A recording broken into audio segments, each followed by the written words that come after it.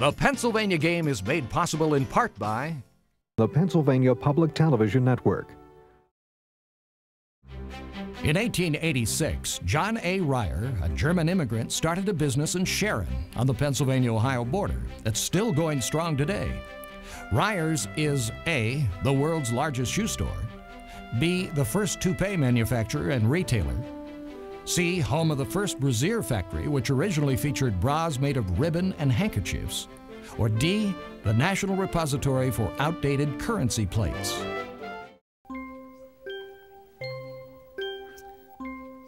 The answer is A. Founded in 1886 by John A. Reyer, a German immigrant shoemaker, Reyer's has grown to become the world's largest shoe store.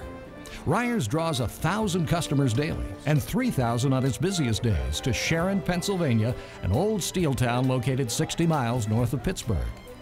Owned since 1954 by Harry Jubelirer, a second generation shoeman from Pittsburgh, the family run business stocks 175,000 pairs of shoes in its 36,000 square feet of space. Women's sizes run from 2 to 15 in widths from quintuple A to double E. Men's sizes go up to 22. Open seven days a week, Reyers attracts local customers and draws some 600 tour buses a year that drive here from as far away as Toronto.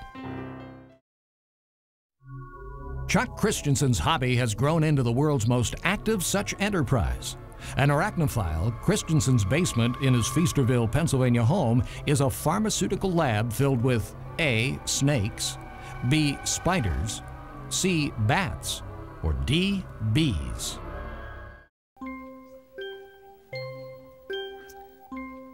The answer is B. Spiders.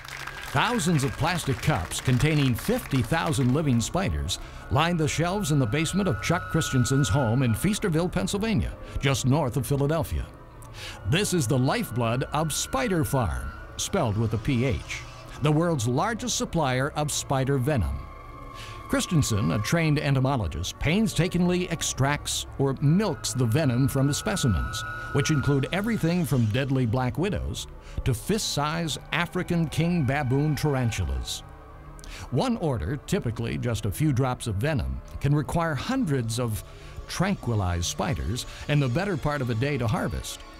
Spider venom, according to Christensen, who started this mom and pop operation as a hobby in 1980, is aiding scientists in the development of new medicines and in understanding how the human brain works. In 1789, Cornelius Holgate established the Holgate Brothers Company in Roxborough, Pennsylvania. Still thriving today, the company became famous as the nation's largest distributor of wood products.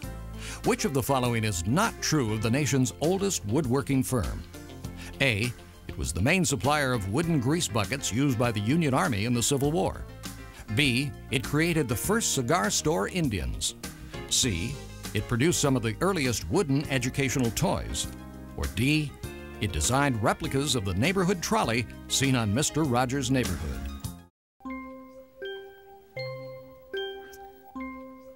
The answer is B. The Holgate Brothers Company never made cigar store Indians.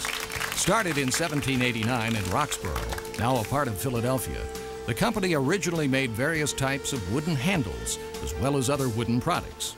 During the Civil War, Holgate's grandson Silas manufactured the wooden grease buckets that hung from horse drawn wagons.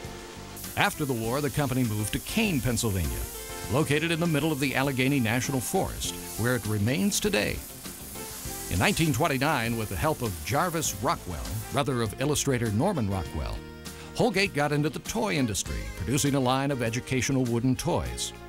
Holgate's chief toy designer for 30 years, Rockwell was considered a pioneer in the industry. He developed an extensive line of hardwood toys designed to stimulate a child's creative instincts. In 1992, Holgate was commissioned by Mr. Rogers' Neighborhood to create replicas of the neighborhood trolley. Born in Pittsburgh in 1884, Evelyn Nesbit moved to New York at age 16 and became known as the most beautiful artist model in America. Her life story was captured in the 1955 film titled A. The Bad and the Beautiful, B. The Original Beauty and the Beast, C. Woman in the Window, or D. Girl in the Red Velvet Swing.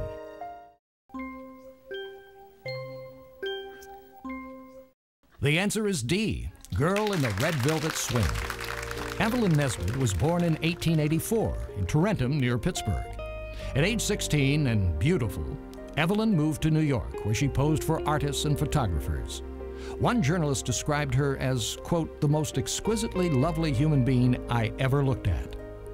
Charles Dana Gibson, famed for his Gibson Girl, sketched Evelyn with her hair streaming down to form a question mark and called it the eternal question. Photographer Rudolf Eickemeyer Jr. captured the weary Evelyn sprawled across a polar bear rug and named his famous photograph Tired Butterfly. In 1905, Evelyn married Harry K. Thaw, an unstable millionaire from Pittsburgh. A year later, her jealous husband shot and killed Stanford White, her former lover, and Thaw was sent to an asylum for the criminally insane. Evelyn, divorced and struggling, took stage and film parts to survive. She died in 1967 in a Hollywood nursing home, having lived to see the 1955 film about her life, Girl in the Red Velvet Swing. Inventor Nathaniel Wyeth, brother of painter Andrew Wyeth, was born near Chadds Ford, Pennsylvania, into America's foremost family of artists.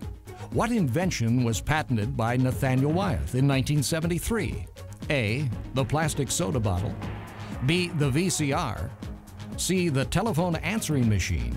Or D. Velcro.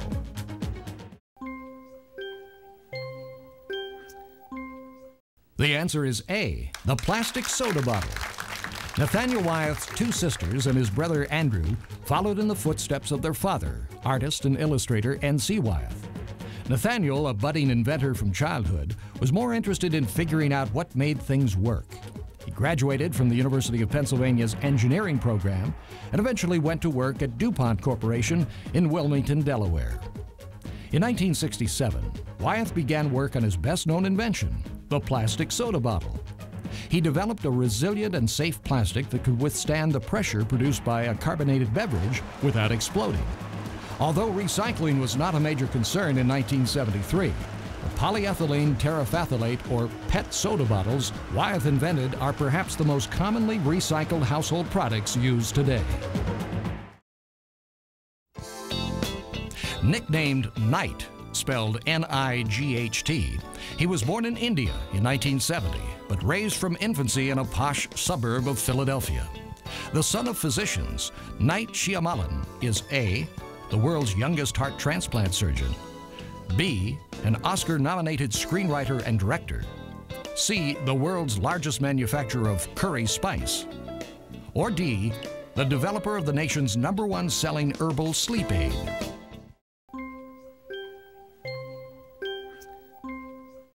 The answer is B, an Oscar nominated screenwriter and director. Philadelphia's Manoj Night Shyamalan is making waves in Hollywood. Night, which is the anglicized version of his middle name, attended private school in Philadelphia. He began making films at age 10 with his father's 8mm camera, and by 16, he had made 45 short films. In 1992, after graduating from New York University, he made his first feature film, Praying with Anger followed by 1998's Wide Awake. But it's the writer director's third film, the psychological thriller The Sixth Sense, that captured six Oscar nominations and put Night in the spotlight. Shot in Philadelphia, the film has grossed more than $600 million worldwide.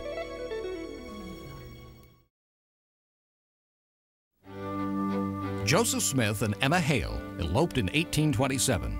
They made their first home together in Harmony, Pennsylvania, where they lived with Emma's parents. What did Joseph Smith do while living in Harmony? A. He established the Harmonites, a religious sect. B. He started Mrs. Smith's Pies. C. He translated the Book of Mormon plates. Or D. He founded Smith & Wesson Gun Manufacturing.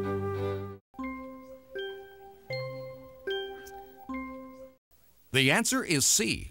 He translated the Book of Mormon plates. Joseph Smith and Emma Hale married and settled in Harmony, Pennsylvania in 1827.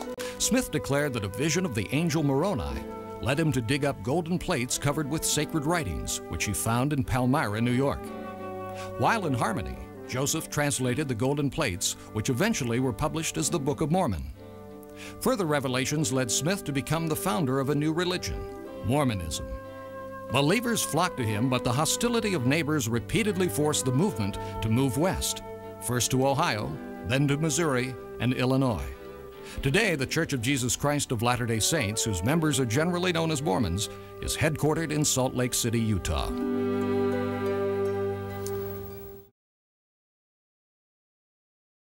A copy of the program you've just seen can be purchased through Penn State Media Sales at mediasales.psu.edu or by calling 800 770 2111.